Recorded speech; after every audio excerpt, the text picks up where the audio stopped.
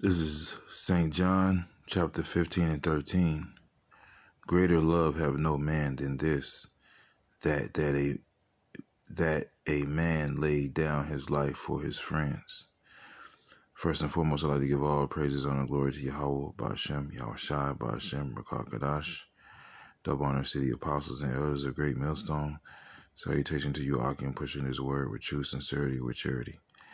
And uh, I just want to go into this lesson, um, and I'm going to call it um, Throw Yourself into the Machine. Throw yourself into the uh, machine. Now, before I really go into it, I'm going to look up a term called, uh, hold on. Uh, now I want to go into this uh, term called uh, a monkey uh, to uh, to throw a monkey wrench into. Okay, basically to throw a monkey wrench into something, right? And uh, here's the definition: to damage or change something in a way that ruins it or prevents it from working properly. All right. Okay. Uh, right. To throw a monkey wrench, and it's uh, funny because um, the term monkey wrench became from uh, um, basically Esau Edom uh, being racist, you know, uh, against a man named Jack Johnson, who was a famous boxer and a musician, uh, musician, um, uh, famous boxer and uh, and uh, inventor. That's what I meant to say. Famous boxer and inventor. He invented the the, the wrench, and then they uh, Esau called it the monkey wrench, basically calling us a monkey. Okay, but to throw a monkey wrench into um, a situation is to destroy it. You know, there was, um, I believe, in the time of the. Um, let me see, let me see something real quick. Right. Um, here's another word: uh, sabotage. Okay.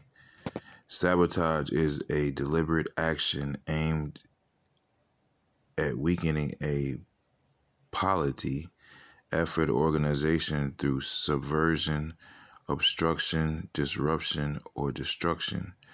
One who engages in sabotage is a saboteur. Saboteurs, and um, I believe that's uh, synonymous with the word sabatos because uh, I believe that that's uh, Spanish for shoes. Correct me if I'm wrong. Saboteurs typically try to conceal their identities because of the consequences of their actions and to avoid invoking legal or organizational requirements of addressing a sabotage. Um, uh, all right, let me get another definition. Right, sabotage Wikipedia. Okay, here it is. The English word derives from the French word saboteur, meaning to bungle, botch, wreck, or sabotage, and was originally used to refer to labor disputes in which workers wearing wooden shoes called sabots interrupted production through different means the word sabotage apparently appears later. So basically, what these workers would do is they would, um, uh, matter of fact, let me get this one. Uh,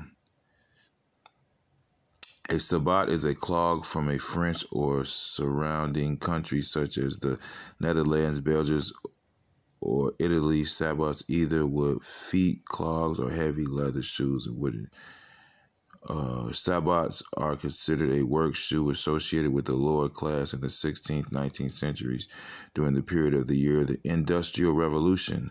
The word sabotage gained currency and alleged technology described the actions of disgruntled workers who willfully damaged workplace machinery by throwing their sabots in the work in the works and in tr- truth sabotage is derived from the noise and clumsiness associated with the wooden sabbat shoe so that's what i was looking for okay So basically, you had these workers that were being basically overworked and underpaid, and they would throw their shoes into the machinery to break it.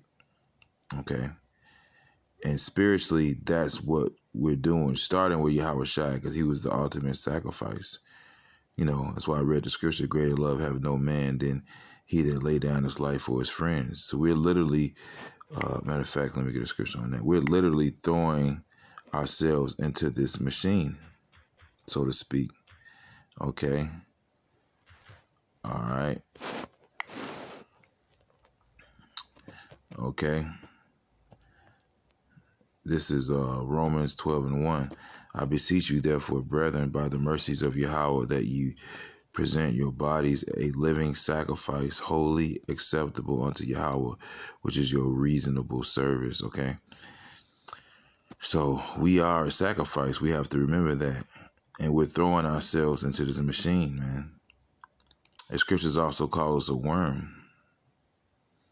You know, when you throw a worm, you put a worm on a hook, okay, and you throw it out into the water. And the scriptures just describe uh, these people as a sea of people, as waters, okay? And with that worm, as the scripture says, uh, that worm calls us that worm Jacob.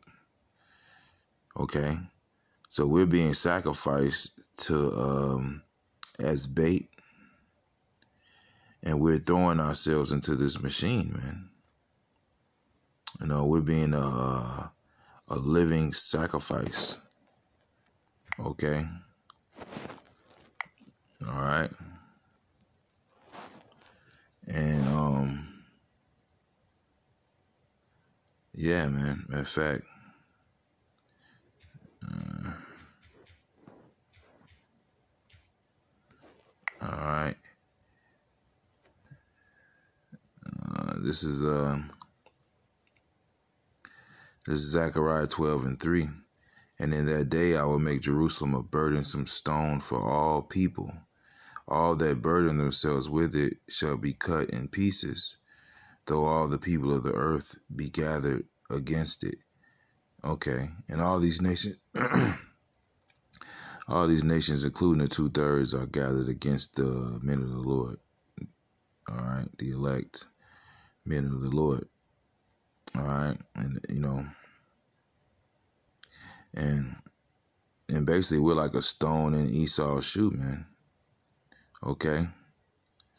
We're throwing ourselves into this machine and sacrificing ourselves. Okay? You know, presenting ourselves as that living sacrifice, man. And why? Because Yahweh Shai, he had that mindset. Um, in fact, let me get a scripture.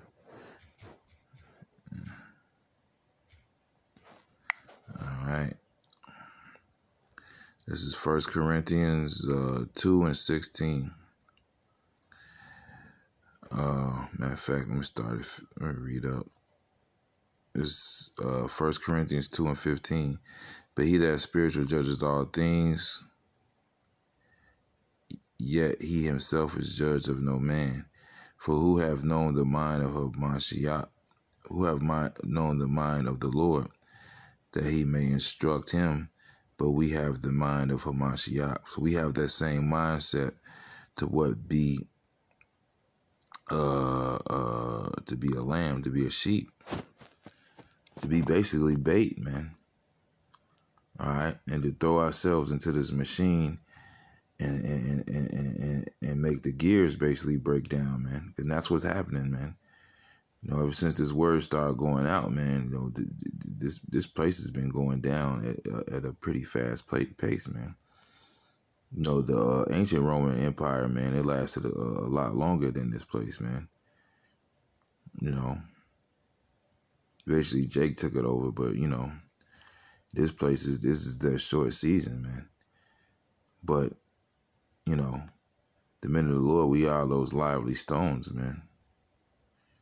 All right. And, and the Lord's throwing those stones into this machine and it's breaking up the gears, man. So we have to have that mindset to be a sacrifice, man. Okay. And that's what we are. And, um, yeah, that's what we're basically doing, man. You know, there's a little lesson I wanted to do. I hope it was edifying. Uh, shalom.